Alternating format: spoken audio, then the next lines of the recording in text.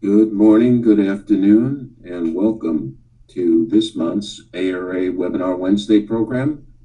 I'm Jerry DiMaggio. I'll be serving as your moderator for today's program, which is entitled Non-Destructive Evaluation Technologies for Detecting Utilities. Next slide, please. I'd like to first uh, cover a few housekeeping details with everyone. If you're experiencing an issue with your sound and you're using your computer speakers, please mute your speakers and then dial in using your phone. If you continue to have an issue, please use the chat button and send a message only to the host. We'll do our very best to assist you. Next slide, please. We encourage you to ask questions throughout the entire program. Those questions will be addressed at the conclusion of today's technical program, which will be approximately 45 minutes in length. If you do have questions, you can submit them during the entire program. Please click, as seen on this slide, the Q&A button and send your question, and please listen carefully. Send your question to the host and to the panelist. Next slide, please. To view the presentation in full screen mode at the top of your webinar settings as shown in this slide, please click the down arrow, highlight view, and then choose fit the viewer. Just a reminder, to receive the one hour PDH certificate for today's program, you must attend the full session for the entire hour. We'll be providing additional information on this topic at the conclusion of the presentation. We will also be making available to all the participants a PDF version of today's slide program. Next slide, please. Now it's my great pleasure to introduce today's speaker, Ms. Vanessa Napoli. Vanessa is a senior scientist at ARA's AMA division as a member of the Geophysical Models, Signatures, and Systems Group. She's a geophysicist who focuses in seismic and acoustic analysis applied to nuclear forensics. Vanessa specializes in estimating explosive yield and seismic magnitudes, as well as performing large scale seismic data analysis and waveform modeling. She's also experienced in applying various geophysical surveying me methods to detect subsurface discontinuities and anomalies. Vanessa has been with ARA for over three years and briefly worked as a seismologist, excuse me, for seven years at Weston Geophysical Corporation. Now it's my great pleasure to introduce Vanessa, my very good friend as well. Vanessa. Thank you, Jerry. Uh, good morning and afternoon, everyone. I'm excited to be here today talking about non-destructive evaluation techniques uh, here's a list of topics that we're going to cover. First, we're going to talk about the complexity and necessity of locating buried utilities and why we need non-destructive evaluation methods. From here on out, I'll refer to these as NDE methods. We will then talk about the state of current NDE techniques and the applications of these methods. I'll go over methodologies uh, and how these techniques work, and also applications in both controlled lab settings and field experiments. And then we'll discuss what our recommendations for ND technologies are in various settings. We'll wrap up, uh, we'll talk about uh, recommended R&D for future development, and then uh, we'll finish with questions. Now, I do want to point out that the work you're seeing today came out of a contract that ARA had with the Federal Highway Administration. I have the contract number uh, listed here, um, and as documents become published by Federal Highway, I encourage you to use them as a resource if you're interested in what you hear today. All right, let's jump into the background. Why do we need non-destructive evaluation technologies? So underground utilities represent fundamental assets in our infrastructure networks all throughout our cities and states. They provide us with essential services we are all very familiar with, including water, gas, sewage, telecommunications, power. Now, managing these complex arrays of utility networks is challenging, as most of underground utilities are buried beneath public urban areas, and we're without comprehensive maps so locating them is very difficult. And we need to be able to locate these utilities so we can consistently upkeep them, uh, which is critical to avoid outages that disrupt our community usage. No one's happy uh, when we uh, have an outage in utility networks, both on the provider and the consumer side. So we need to limit these when possible, especially as outages for extended periods of time can be dangerous and life-threatening. Additionally, highway and infrastructure construction require identification, characterization, and relocation of subsurface utility lines. And it has to be done in a timely, reliable, and cost-effective manner. Now, the biggest challenge we face today is the lack of existing or recorded information on the location, orientation, and also type of utility lines present especially for highway agencies. I mean, they don't always have regular lines of communication established with the utility providers.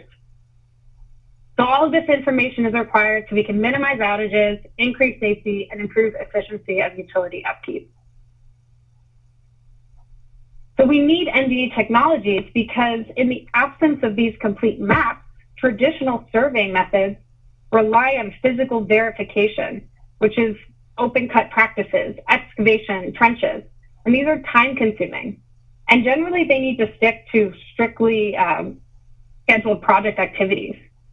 And when we go into excavation practices, this can be damaging to the underground utilities and the areas where the utilities are buried. Now, NDE methods, as their name implies, are non-destructive ways to survey buried utilities, as well as being applied uh, not just to utility detection, but a large variety of geophysical practices and they can increase uh, our efficiency of data collection and processing, as well as minimizing those outages since we do not need to do any subsurface evaluation. So now we know why NDE methods are helpful, but it's most important to know when to use each method. We need a comprehensive guide to lay out in different situations which NDE method will help you the most. Let's say you have metal utility lines 10 feet beneath a highway or you have PVC water lines underlying grass and it's been raining for two weeks, or you have unknown utilities at a whole range of depths. How do you know which method to use when? The Federal Highway Administration identified this as a critical need uh, to identify the availability, feasibility, and reliability of existing NDE technologies and to develop a comprehensive procedure for deploying appropriate NDE systems in a variety of settings and configurations.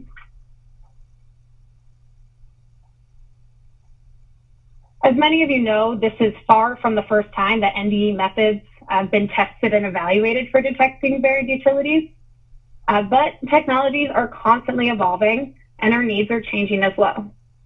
A substantial development in NDE documentation was the SHRP 2 report which uh, details results from the second Strategic Highway Research Program. Most of the research for this report was conducted between 2007 and 2013, with the final report published in 2018.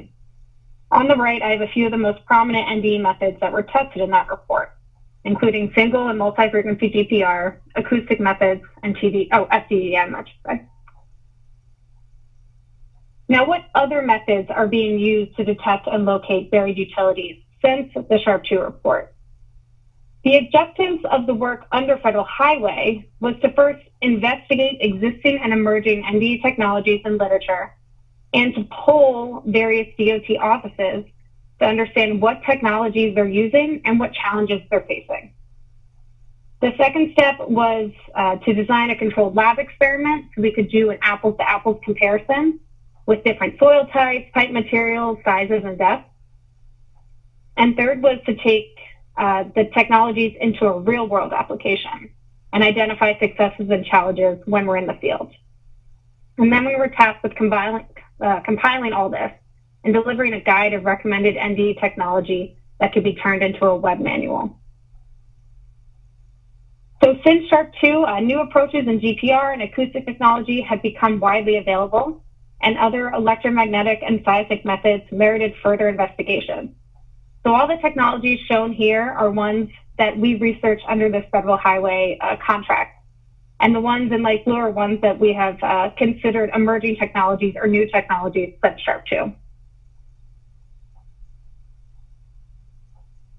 All right, so I've set the stage with some background information about complications of utility detection, why we need NDE methods, and mentioned some of the methods we're going to look at.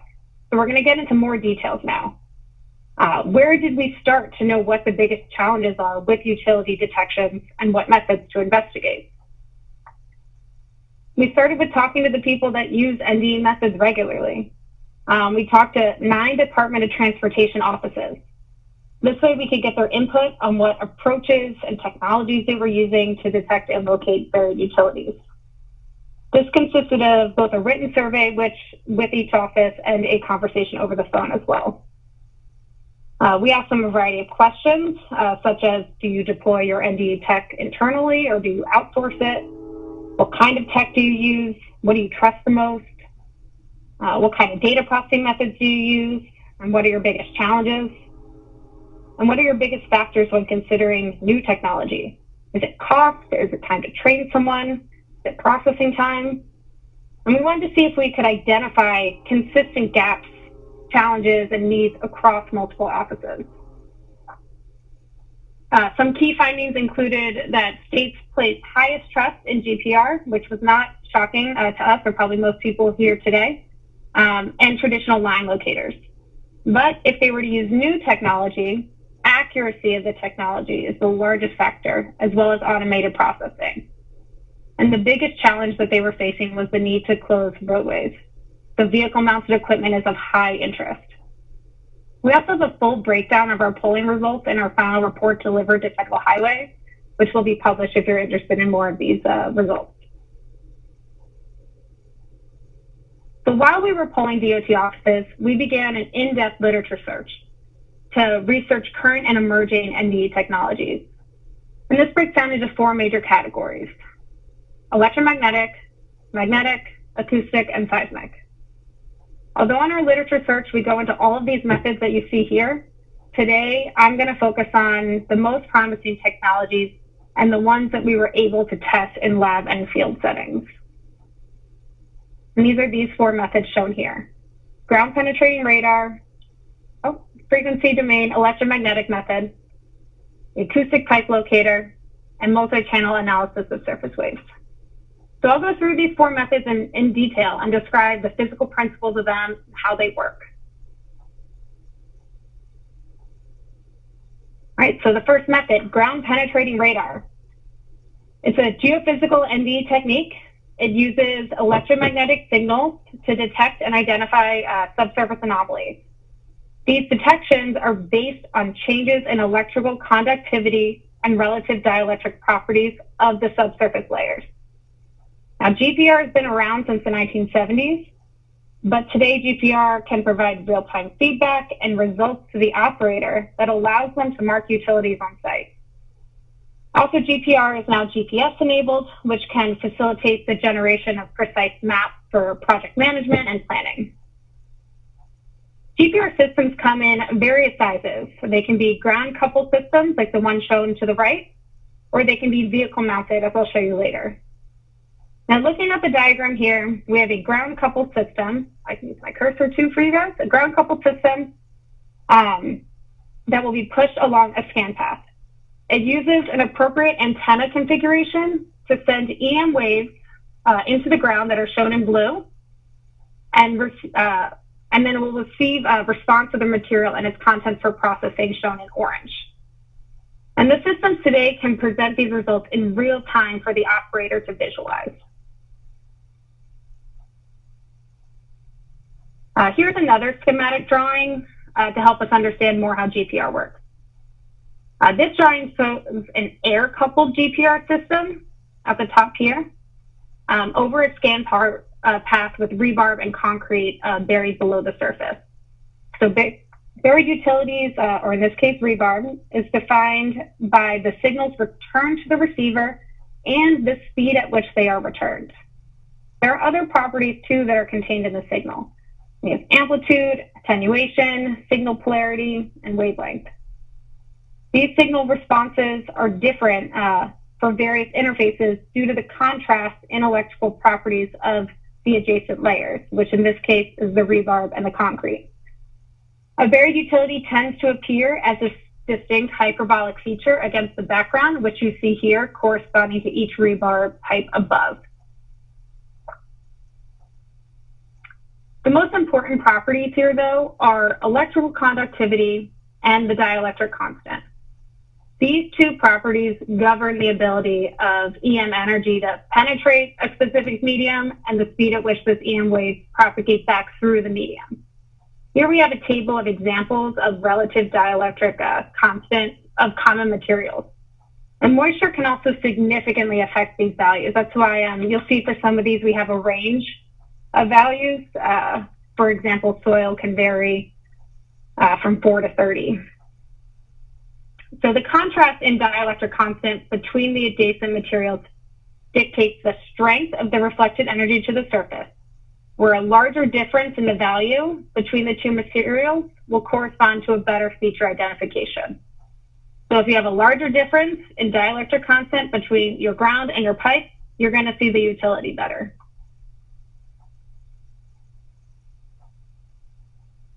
Uh, here's an example of a real GPR scan. This is of two PVC pipes at five foot depth.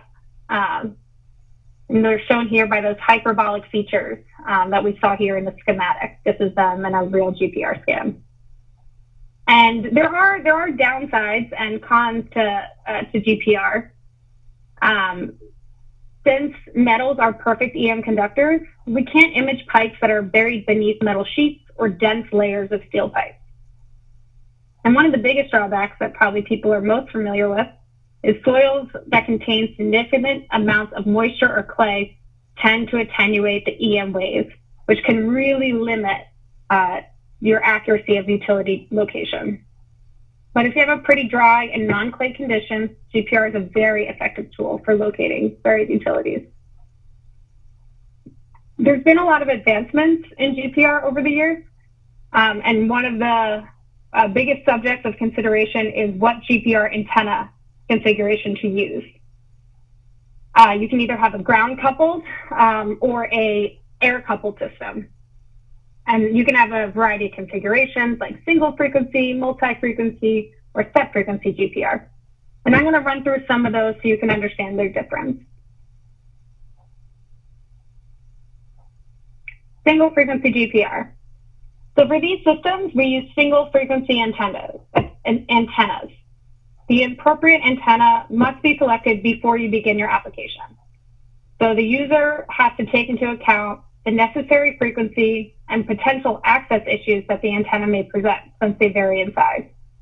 So when selecting your appropriate antenna frequency, uh, you really have to meet this balance between the depth of inspection that you're interested in and the precision of a measurement.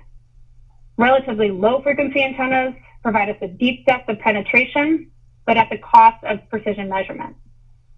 Whereas high frequency antennas uh, provide us with shallow depth of penetration and deliver high precision measurements. And the physical footprint really needs to be considered as well. Antennas for lower frequencies uh, can be quite large, uh, 10 feet or more, um, and can present challenges uh, in locating where a space is limited or you have uneven terrain. And here we have an example of a single frequency uh, ground coupled GPR system. I'm going to talk about multi-frequency and a kind of multi-frequency known as step or stepped frequency GPR. So for systems that use multi-channel antenna configurations, uh, the limitations that I just talked about of traditional single channel or single frequency antennas can be minimized or even completely overcome. Uh, these systems deploy multiple frequencies at once to capture data that balances a depth and precision to provide results for an optimal configuration. And this eliminates the need to purchase uh, signal frequency antennas or to perform multiple redundant passes over the same area with different antennas just so you could target different depths. Additionally, uh, multi-channel systems can deploy uh, multiple antennas in parallel. And this captures multiple scan paths simultaneously. And this significantly reduces downtime in the field. And this is critical in operations where we want to minimize that downtime, especially due to a road closure.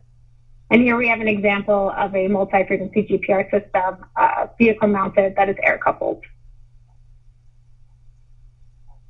A little bit more about step or step frequency GPR. Uh, this scanning technique is really the most recent development in GPR technology. And as I said, with multi-channel uh, GPR, a range of desired antenna frequencies can be generated at high speeds, which overcomes a lot of those historical limitations observed uh, in traditional systems. So these GPR systems uh, can also be deployed using operator-driven approach for navigating difficult terrain or a vehicle-based approach, which helps us scan roadways at relatively high speeds.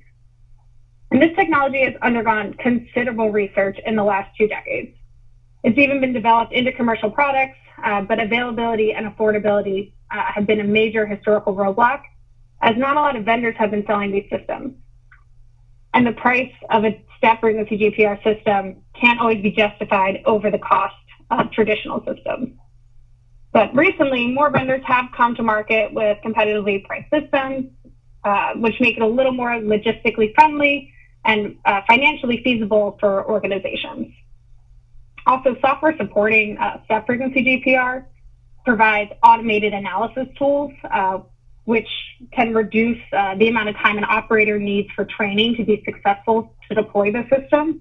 And that was a roadblock that we learned about when we were talking to DOT offices when they uh, wanted to implement new systems. Right, moving on from GPR, we're going to talk about our next technology, which is frequency domain electromagnetic method. This is a geophysical NDE technique that also uses electromagnetic signals uh, to detect and identify subsurface anomalies and is based on changes in electrical conductivity. This method tends to be used uh, in surveys to determine electrical properties of an area's given geology, but uh, since it has the ability to induce electrical currents in metallic targets, this allows for this technology to be used to locate buried utilities. Uh, these systems can be sensitive to surface conditions, though. Um, so without, or but with, if you have expert handling of the system and you can have a user with a high quality of data interpretation, uh, they can provide a reliable utility detection um, with at good speeds and with portable hardware. All right, so let's talk about how this works. In the photo, you see a long rectangular system that's held parallel to the ground. Uh, that same system is shown here in the schematic drawing. Right here is the same uh, rectangular system that we're seeing in the photo. And it has a T and an R on either end. FDEM uses an enclosure uh, containing two separate electrical coils at either end. One coil acts as a transmitter, T, to send time varying EM waves into the ground, uh, while the other coil receives the response from the material and contents for processing, which is shown as the R, the receiver. And as the data is received, uh, the data acquisition system will actually present the user with a visual display about uh, showing the average conductivity taken as a function of time. Uh, these systems do often lack a physical encoder, um, using instead a connected GPS device uh, so that the user can connect the measurements to a respective position uh, in their field experiments. Uh, local anomalies observed in conductivity measurements are used to identify the presence of the buried utilities. So the transmitter, receiver, and data acquisition are all operator portable, uh, with the instrument held a few feet off the ground as you see in this photo. As with most NDE methods, FDEM is best utilized as a complementary tool rather than a standalone. So while uh, I do also want to talk about a, a, technology that has grown out of FDEM, um, so traditional FDEM utilizes that pair of electrical coils.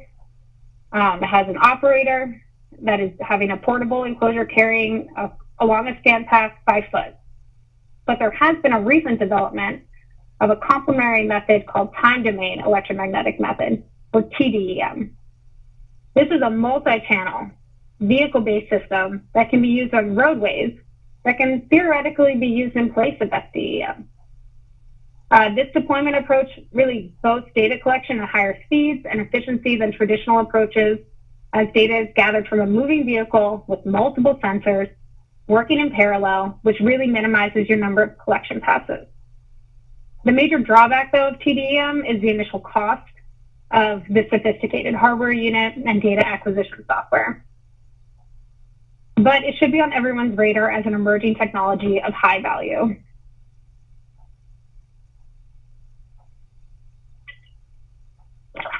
All right, the third method that we'll be discussing is the acoustic pipe locator. Uh, using acoustic or seismic methods to detect underground utilities are especially useful in situations where GPR and EM methods fail due to soil properties, conductivity issues, uh, and electrical noise. So an APL uses an acoustic generator and a single geophone.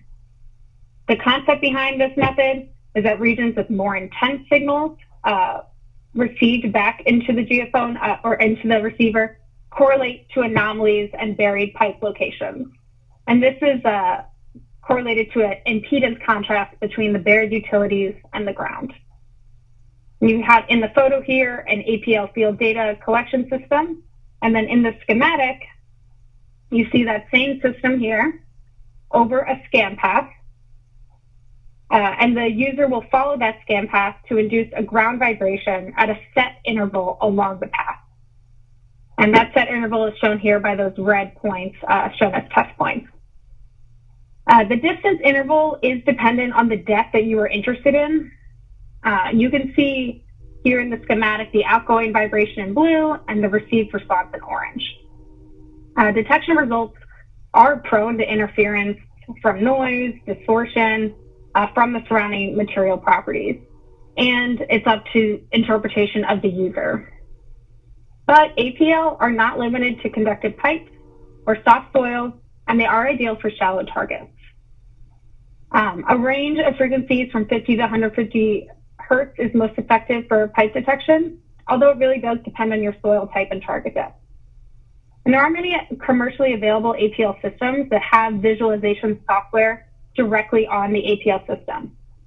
But similar with FDEM, you're limited to an operator held system. So it can't be used on roadways at high speeds, but rather should be seen as a supplemental system when GPR and EM methods can fail. So the last of the methods uh, that we're going to talk about is the multi-channel analysis of surface waves. So similar to acoustic technologies, Seismic waves remain unaffected by wet soil conditions, like conductivity issues and GPR. MASW uses surface wave energy between 1 and 30 hertz on multi-channels with a minimum of 24 geophones. Now, surface waves are the largest amplitude uh, that you have in, a, in seismic phases. Um, so if you ever felt an earthquake and you feel first small vibrations followed by much larger vibrations, those are the surface waves coming through. Uh, so while MASW utilizes much smaller amplitude surface waves than we feel in earthquakes, they are the same seismic phase. So you can run MASW with an active or passive source, but an active source like a sledgehammer is ideal for imaging depth less than 100 feet, which is what we're interested in. Here's a photo on the right um, of a 24 geophone array laid across uh, pavement and then in the schematic, you'll see the same geophones represented by the orange triangles or the orange rectangles uh, here on the surface. So the user is going to move the source, which is shown on that hammer here, uh, through the array of geophones, striking at various points, and then recording the seismic waveforms. Analyzing the surface waves is particularly uh, advantageous because, like I said, they're large in amplitude. And this can provide a very ideal signal to noise ratio, especially when we're in urban areas or areas with elevated levels of mechanical or acoustic noise.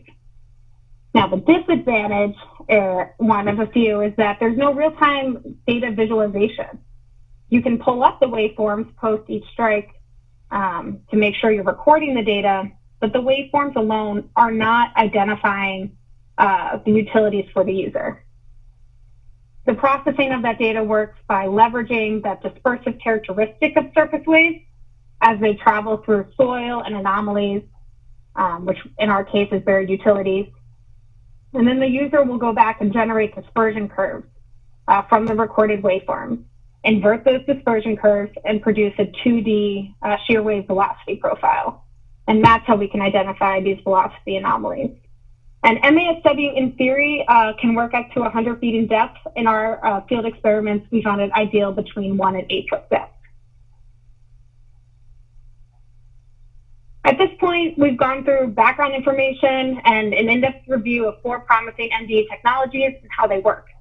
Now I'm going to briefly touch on a controlled lab experiment that we conducted under the federal highway contract to show a little bit more about how these work.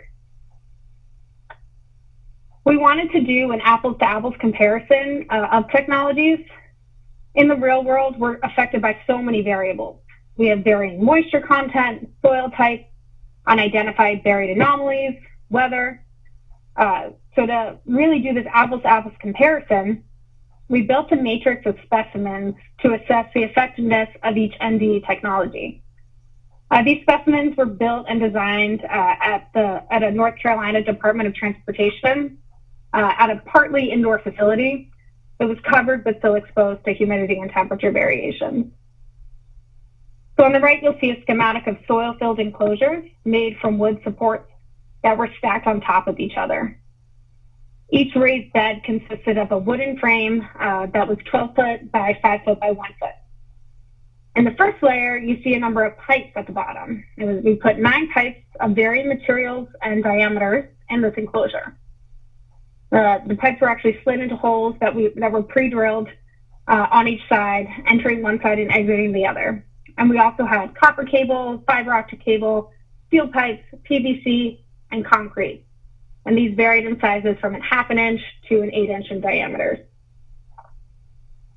Um, each enclosure consisted of stacking wooden frames so that we could change the depth and test each method at different depths.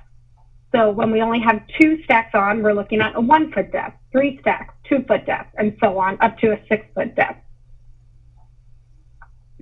So we did this for cohesionless, cohesive soils, and mixed soils so that we can really understand the differences uh, that we were seeing from the methods and how to eliminate as many variables as possible. Here's a photo uh, to give you a little bit more context of the soil boxes being built.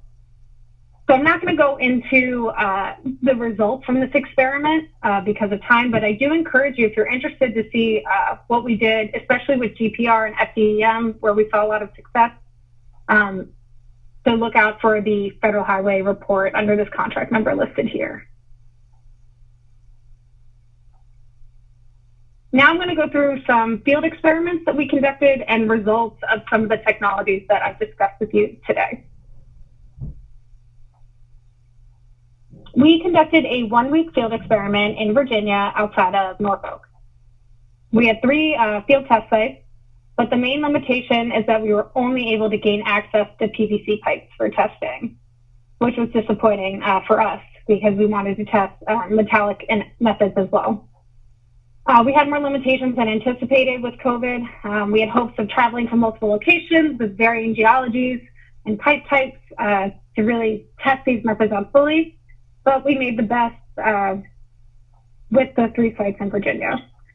uh, on the right here is an example utility plan at one of the sites. Uh, we had both a sewer line and a water line that were PVC, uh, one that was four inches in diameter and one at eight inches in diameter uh, with ranging depths between three and 12 feet. And as you can see, we were in neighborhoods as well. So for GPR, we tested both dual frequency GPR and step frequency GPR. For dual frequency, uh, we used the GSSI utility scan GPR system, which is easy to operate, takes a signal technician, which can push the antenna cart along a scan line, like we talked about earlier, and they can review the data in real time. With this, we were able to detect about 60% of the shallow targets using the system, but had difficulty with the deeper depths um, because of the dual use nature of this uh, system, we could have had errors with the uh, frequency uh, frequencies that were chosen and the antennas that were chosen. Uh, the, for the step frequency GPR, the team deployed a 3D step frequency GPR system. Uh, this features a ground coupled antenna on multi-channel data acquisition. The 3D radar system is vehicle based and typically deployed for roadway and bridge inspections and it uh, makes it well suited for utility detection studies. It can uh, permit high-speed data collection and perform up to 28 scans in parallel over a single pass of location. But it can't be used on uneven or irregular terrain and must be deployed on established roadways. So while this is a great, great technology uh, for highway use and uh, continuous roadway use, as I showed you, we were in neighborhoods with a lot of our scan lines going from grass uh, over pavement back to grass, a lot of times on uh, properties. Um, this limitation hampered the use of the 3D radar system in our field test. So while it was successful over the uh, over the roadways with our targets under grass and um, on neighborhoods, it was not always possible to test. Uh, here you're seeing an example of the dual frequency uh, utility scan GPR system, locating three uh, utilities uh, between three foot and about seven and a half feet with the two uh, frequency antennas that were used of 800 megahertz and 300 megahertz. So through this experiment, um, we were able to conclude that there is potential in using MASW to locate buried utilities. We ran a variety of setups uh, for MASW since it's not commonly used for utility detection. Uh, so we changed source layout, force weight, geophone type, and geophone spacing. Through all this, we determined that the best layout was doing what is called a full shoot-through approach across all 24 geophones, where you move along the source uh, between or at each geophone that remains fixed. So in the top figure here, we have 24 geophones across, and each one of these is a is one individual test, the source moving between the geophone array. And then from all that information, we can take that back for data processing. And what you see below is a 2D shear wave velocity map uh, generated with uh, software, which is an MASW uh, analysis software package. Depth in feet, uh, you'll see versus depth in uh, surface systems. And so we expect to see these buried utilities as the low velocity zones uh, compared to the surrounding media. Highlighted here with the black dotted circles um, are two potential pipes that are one within two to three foot depth that are in um, within two to three feet of the expected depth. So as you can also see, we're not able to resolve pipe diameter with MASW. These pipes are one four inches and one eight and eight inches, and they uh, look no different in their in their diameter size. So this can be seen as an emerging technology that should be further tested uh, to still prove its validity, but that should be on everyone's radar as an up and coming potential technology. Great. So we reviewed all the technologies, how they work, some applications of them in the lab experiment and the field experiment. And now we're going to review our recommendations for various test conditions. Uh, what I'm going to show you here is a very brief overview of what is going to be provided in the Federal Highway Info Technology website in 2023. So I do encourage you to use that resource, which will detail which uh, all of the methods that I discussed and more, um, and the advantages and disadvantages and when to use each method. As a summary, here are the methods that we talked about today, two kinds of GPR, acoustic methods. I didn't really go into magnetic detection or HVSR, um, but there's also SCEM, TDEM, and the seismic method, and MASW. The most successful methods that we had in our controlled and field experiments were multi and step frequency GPR, MASW, and FDEM. So for those technologies, I'm going to go through each of these categories. Advantages, disadvantages, automation capabilities, our recommendations, suggested setups, and ideal conditions. So there'll be two slides for each method. So for GPR, for multi-frequency and step frequency, our advantages are that we can detect most kinds of utilities, metal and non-metallic. Uh, there's a high spatial resolution. It's GPS enabled already, already, which is great for mapping capabilities. Uh, step frequency GPR has higher resolution than traditional GPR. It's reducing the amount of passes and scan paths that you have to do as well. And vehicle-driven GPR is highly effective for minimizing lane closures. And there's also wide market availability. Um, GPR systems have been around for a while, and there's a lot um, on the market, especially up and coming systems like step frequency. Some disadvantages, they are highly sensitive to soil type uh, and electrical conductivity of the utility. Um, and depending what material is above, above that utility if there is interference. And the signal can scatter when you have heterogeneous uh, subsurface conditions. And it can suffer, like I said, when there's nearby uh, conductive materials. Uh, automation capabilities, uh, automation data acquisition is already available for, for GPR. You have real-time data visualization in three, three dimensions available to the operator as it's in use. Our recommendation is to use GPR for detecting buried utilities, uh, especially for metallic pipes, since you're going to have the highest dielectric constant contrast between soil and your pipe materials. Suggested setup is a wide spectral band whenever possible uh, to prioritize frequencies in the 100 to 400 megahertz range. And obviously, when possible, to use an operator, or if you have rugged conditions, use an operator driven GPR system. But if you can, use a vehicle mounted um, so you can do high speed data collection and really reduce those road time closures. And then ideal conditions, which you know we never really get, but homogeneous soils uh, with little to no clay, dry environments, and flat and firm, even surface conditions. For FDEM, our advantages, again, continuous, continuous scanning, especially with TDEM, it's high speed scanning. Um, you're not limited by a regular surface conditions as you can be with others, as it's a for FDEM, an operator portable system. And it uh, can be GPS enabled with a accompanying device.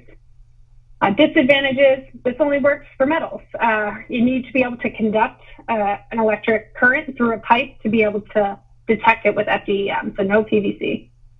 And it can be sensitive uh, to heterogeneous soil conditions. Additionally, it really, you need an expert uh, user or operator to, to run this and set this up for calibration. There is uh, some automation capabilities already showing the user in real time peak detection and recorded signals, which can help with uh, making precise maps on site. Our recommendation is to use for shallow metallic pipes um, and a, a lack of real-time data display reduces the effectiveness for utility location. But a lot of FDEM methods do have an accompanying uh, real-time data display. It just depends on which system you're using. Our suggested setup is to cycle through frequencies um, and so that you can uh, have the most effective for your specific utility type and to follow steps for the calibration of your instrument on a daily basis even, especially when errors are uh, suspected. In ideal conditions, uh, I mean, which we all hope for, but homogeneous soils, low clay, dry environments, flat and firm, even conditions are ideal, but not limiting for this. Uh, the seismic method, MASW, one of the biggest advantages is it's not limited by pipe conductivity or soft soil. You can identify plastic and metal targets under pavement and grass. And remember, seismic surface waves uh, are large in amplitude, so it's you have good signal to noise ratio even in urban areas. This is ideal for shallow depth, uh, really between one and eight feet. Some of the disadvantages, uh, we can't resolve pipe diameter and depth precision is approximately plus or minus 60%. And it's a lot slower of a data acquisition method. Um, you have to lay out a multi-geophone array, move your source through that array, collect the data, and move on to the next scan path. Um, data processing still needs some improvements prior to commercial implementation, but there are a number of uh, MASW software analysis packages already available that are um, advanced um, which is part of the automation capability. So while it's not on site, um, it is user friendly for, for someone who's not familiar with the software uh, to be able to run it. Our recommendation is that there should be further testing for MASW. We should look at different kinds of pipe types, different depths, different environments to really validate this method. Our suggested setup is using 24 geophones and that shoot-through approach across the entire array. And the ideal force weight that we saw for pipes under 15 foot depth was between 1.5 and 4 pounds for your sledgehammer. Uh, ideal conditions, shallow depths, um, You can have the sensors on soil, grass, or asphalt, just depending if you have um, a geophone array or if you have spiked geophones. And there's ideal uh, situations to have a contrast between your utility and soil types. All right, so just going to talk through some uh, recommended next steps uh, for research and development. Uh, we want to perform further field evaluations for all NDE technologies, really across a range of geologic environments, so that we're looking at high clay content and wet soil and different utility types. We don't want to just look at PVC pipes in similar geologies. We really want to expand that. Additionally, having uh, more of these real world experiments uh, would, would help as well. And we want to uh, recommend to continue investigating MASW. I'm curious also if others on this call have uh, tested MASW as a promising uh, complementary NDE technique. Another improvement could be developing ensemble techniques uh, to really boost utility detection and location performance with existing sensor technologies. And finally, some of these methods have great potential for automation capabilities. And work can be done to develop ensemble techniques uh, using ML methods to help keep up with processing demands. All right, some summary points. Um, using NDE technologies across various fields is critical to reduce outages and keep up with demanding needs for repair and upkeep utility lines. We discussed a lot of NDE techniques today, some of the most promising in our experience was depth and multi-frequency GPR, FDEM, and MASW. And finally, I really want to uh, emphasize to utilize the Federal Highway Info Technology website uh, once it's updated with uh, the results from our study to learn more about current techniques, field experiments, data collection techniques, processing methods, and more. And with that, um, I'm going to take some questions. These are our upcoming webinars as well uh, at ARA, which we hope to have you attend as well. And thank you all for your time. Yeah. So, thank you, Vanessa. Very interesting presentation. Would you please go back to slide 52 for a minute? We went through that. 52. Thank you. So, uh, those of you, uh, this is the fourth year of our webinar program. Those of you who are new to the program, uh, we're showing where you can register for the up and coming webinars. Before we get to the Q&A, uh, which we will in a moment, just want to mention these webinars. All of our webinars are presented by ARA employees from one of our 50 roughly offices around the country.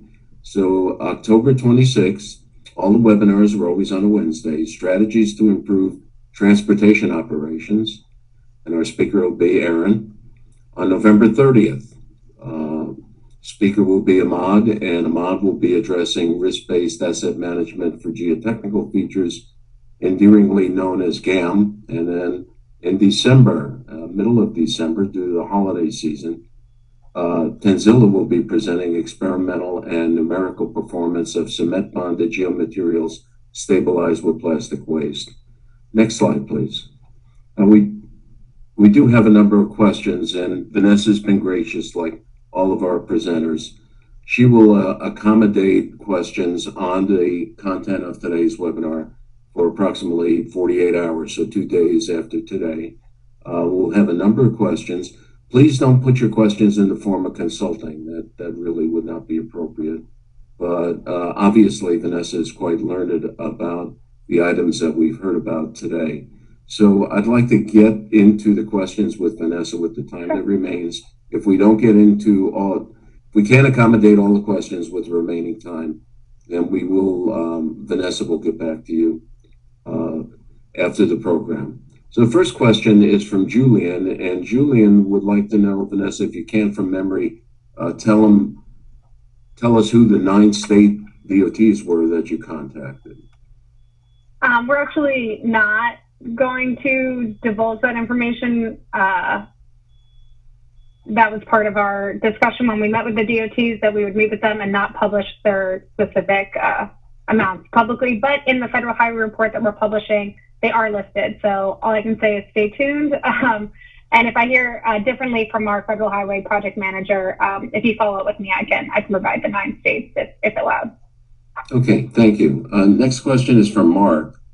And in slide nine, you showed a GPR equipment. And Mark's question is, was that um, equipment ARA's air coupled 3D radar system and a collection vehicle? You don't have to go all the way back there, but maybe you do. Yeah, that's fine. Okay, wonderful. Uh, so this this is not ARA's. This is uh, our sub our sub uh, air coupled vehicle mounted system. They're Bridge Diagnostics or BDI, uh, more well known as, and they ran a lot of the GPR testing. So this is their vehicle mounted ARA. Um, did not provide a GPR for for this analysis. Okay, thank you. And then we have another question from Julian. And relative to GPR, what Julian would like to know is, do you need to know the soil conditions or the dielectric constant at the specific location in order to determine the depth of the utility when using GPR? You, you don't need to know it ahead of time. Um, there's obviously an ideal situation where you have an idea of the depth of the utility you're looking at, or you have an idea of the soil conditions. Um, but it does not need to be known prior uh, prior to it. Um, you could run into problems where you don't have a strong difference in dielectric constant. If you have a really saturated soil and a PVC pipe, they could be near the same dielectric constant, so you might not great, get great resolution. Um, the other thing is uh, with multi-frequency and step frequency GPR, you have the advantage without having to hone in on a specific frequency or depth. So you don't have to pick the specific antenna ahead of time and you can sweep through a range of frequencies like between 100 megahertz and 400 megahertz which can sweep through multiple depths at once Okay, great. And would you mind, Vanessa, please going back to slide 53, the Q&A um, reminder slide.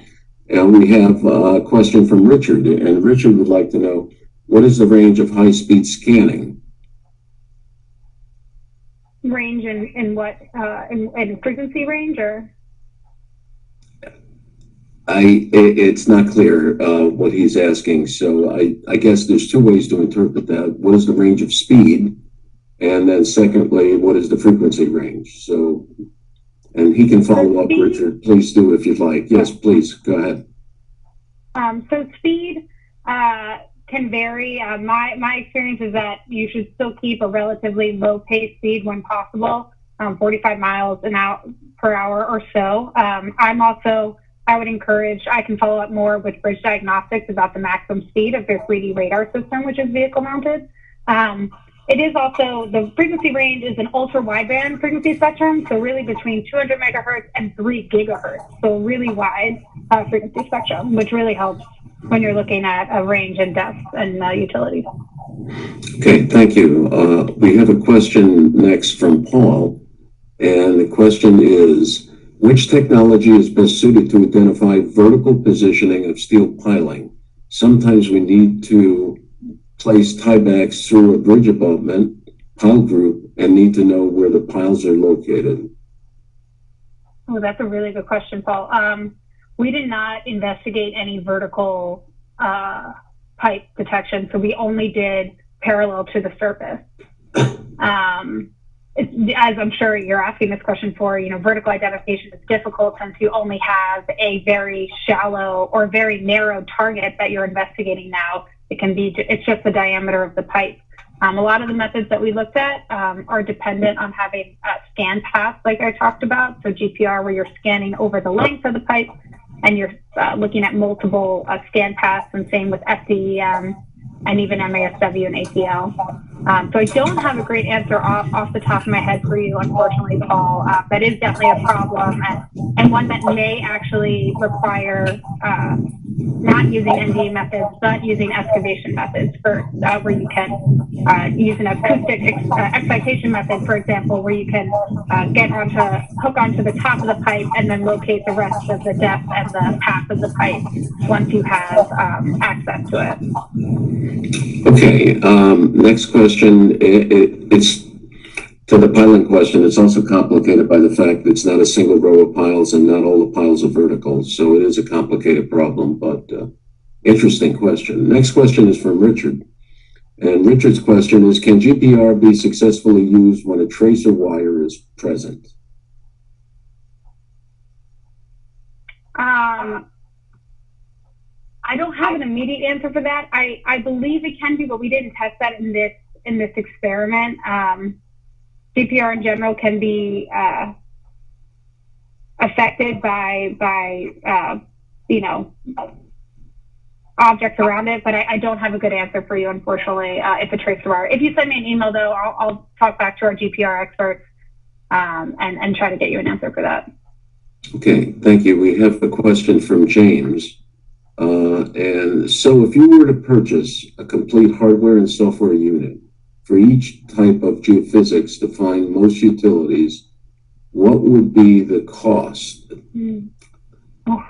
That's a tough one as well. That is, it is. And so I, I will say this, it is heavily dependent on what kind of system you're buying. Um, oh, ones that GPR that are integrated with their software and hardware in one system.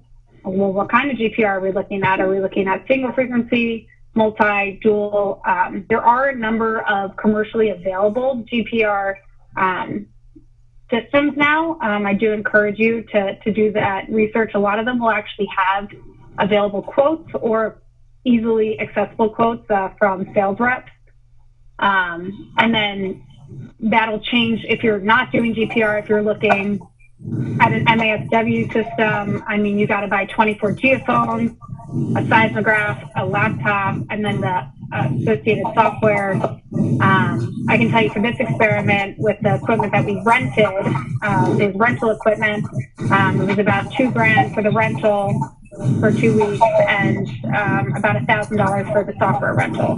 Um, so if you wanted to test out the method, that's an approximate cost. But um, I would encourage you to look at uh, commercially available systems and, and talk to your sales reps as their numbers are also constantly changing. Okay, uh, we have time for one more question, and we have a question from Catherine. Can you explain what MASW is typically used for and why it isn't more commonly used for utility detection? Definitely. Um, so MASW was published back in 1999 by Dr. Partoon.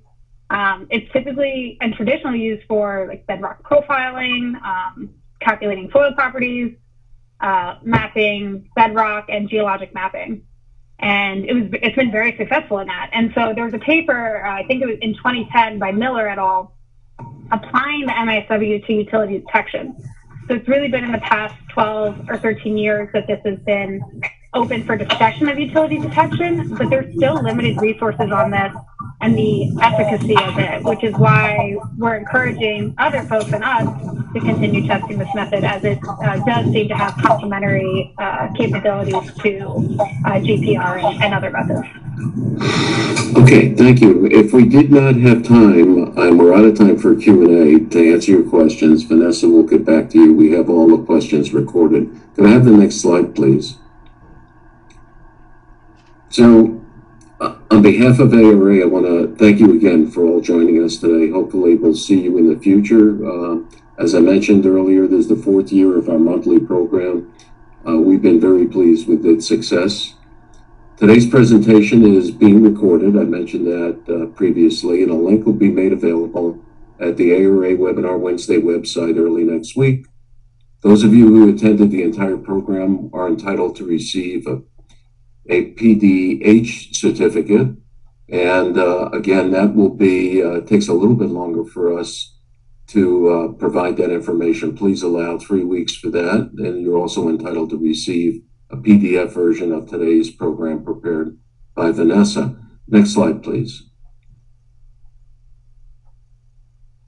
Oh, ARA is uh, is a great company. I'm on my third career after retirement from the government and the National Academy of Sciences, and I've been here. It's hard to believe nine years.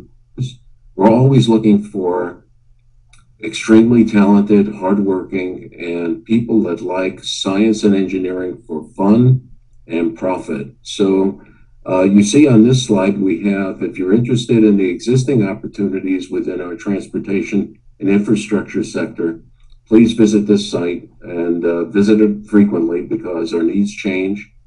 But we're always looking for great people in one of our 50 offices. Next slide, please.